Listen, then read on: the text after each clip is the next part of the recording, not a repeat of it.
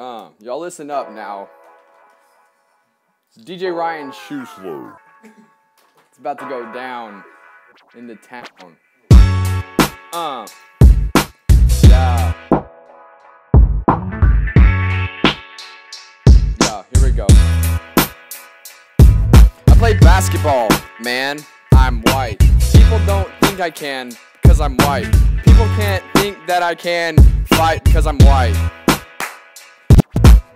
Buckets though, like an afro. If you walk in the basketball court with a fro, you know you can ball. Let me just tell you why. You go to McDonald's and pick up a fry, and then you go to the gas station for gas. Because foot is always on the pedal, because that uses gas.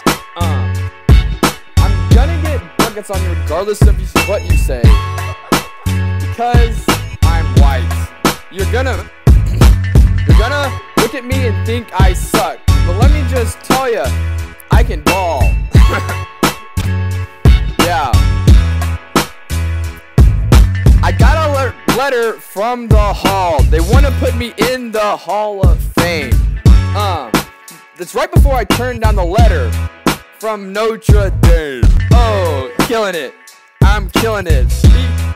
I killing it. Yeah. People thought I was nothing, but now I'm something. Killing it. Yeah. I'm six foot, 155. Balling on all these guys. Let me just tell you why. I wake up in the morning and know I'm good. Yeah. Killing it. Enough said.